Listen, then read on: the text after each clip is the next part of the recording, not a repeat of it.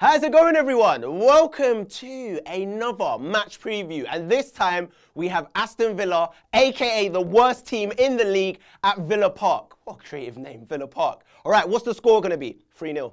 That's it, 3 0. We need to absolutely batter them. I want a clean sheet. I want to see three goals. They're terrible. They just got battered 4 0 by Manchester City. They're hopeless. Micah Richards, I saw you in Dubai. You should have came to Spurs. But now I've seen you play, I don't want you at Spurs. You're getting relegated, son. That's what's happening to you. You're awful. What about what's his face? Lescott, you're awful as well with that dent in your forehead. All of you, I hate you. Anyway, 3 0 will be the scoreline. Who's going to score? Who cares? Hugo Lloris might even score. He might just run up there and header mid game, not even in injury time because they can't score. Hugo Lloris just come up and just run for a set piece. Why not?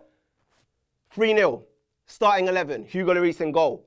Right back, Kyle Walker, Toby, and Wimmer. Do you know what? Do you know what? This is what I'm saying. We might even play some midfielders centre half against Aston Villa. That's how crap they are. We might play, you know what? Forget it. I'm taking Toby out of road and Wimmer out. We're going to play Mason and Winks centre half against Villa. That's how crap they are. We're going to have midfielders centre back. Left back, yeah, we'll have Onomah. That's how I'm doing it. Villa's that crap that I'm playing midfielders in defence.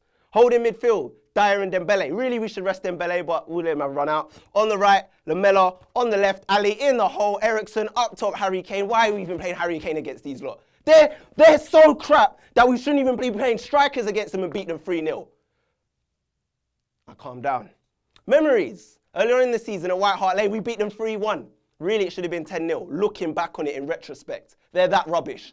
It was 3-1. We allowed them to score. We, like, we allowed Ayew to get the rubbish Ayew brother. The rubbish one, Jordan. Not even Andre. We let Jordan Ayew score against us. Rémi Garde was in the stands. Tim Sherwood got sacked. They were up for it because they got a new manager. But little did they know that they'd be even worse under that former Arsenal scum. Well, anyway, we beat them 3-1. Dembele got a goal. Alli got a goal. Kane got a goal.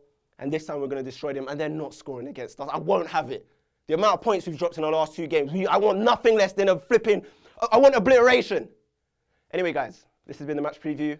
Let me know in the comments below if you agree with me. Do you want to see our midfields at centre back like I do? Raise your hand. Do that while watching this on a PC screen on your phone. If you're new to the channel, subscribe and keep it casual. Hey, it's Smithy from Soccer AM, and I'm back again on the one and only Spurred On. And I'm going to have a bit of fun with this video. I'm going to tell you my top five Tottenham Hotspur terrace chance.